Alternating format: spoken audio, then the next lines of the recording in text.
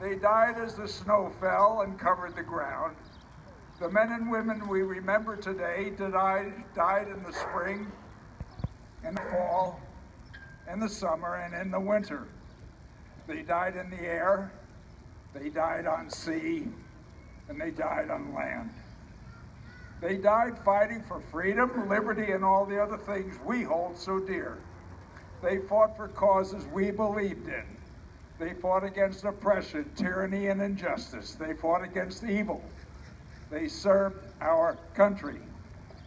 Men and women, much like those of us gathered here, left family and friends when country and duty called. Most of them were young, some in their teens, most were in their 20s. They had their lives before them.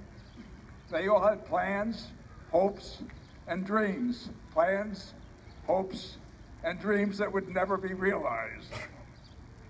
They left home and loved ones and never returned.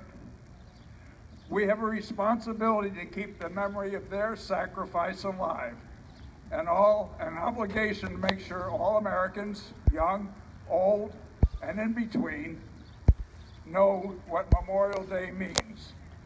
Recent polls indicate that many people do not know. As we enjoy our three-day holiday, remember those who have, would like to have been sharing it with us. They gave their all. I doubt that those who gave so much would ask for much in return. I think if they could speak, all they would ask for is to be remembered. This is a special day. It is their day. Honor them, remember them. Memorial Day, May 28, 2001, Jim Smith, Commander, American Legion Post 342.